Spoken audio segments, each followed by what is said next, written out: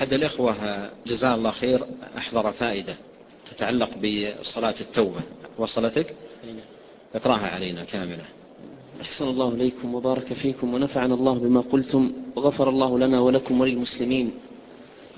يقول ورد عن أسماء بن الحكم الفزاري قال سمعت عليا رضي الله تعالى عنه يقول إني كنت رجلا إذا سمعت من رسول الله صلى الله عليه وسلم حديثا نفعني الله به ما شاء أن ينفعني به وإذا حدثني رجل من أصحابه استحلفته فإذا سمعت رسول الله صلى الله عليه وسلم فإذا حلف لي صدقته وإن حدثني وإنه حدثني أبو بكر وصدق أبو بكر قال سمعت رسول الله صلى الله عليه وسلم يقول ما من رجل يذنب ذنبا ثم يقوم فيتطهر ثم يصلي ثم يستغفر الله إلا غفر الله له ثم قرأ هذه الآية والذين إذا فعلوا فاحشة أو ظلموا أنفسهم ذكروا الله فاستغفروا لذنوبهم ومن يغفر الذنوب إلا الله ولم يصروا على ما فعلوا وهم يعلمون.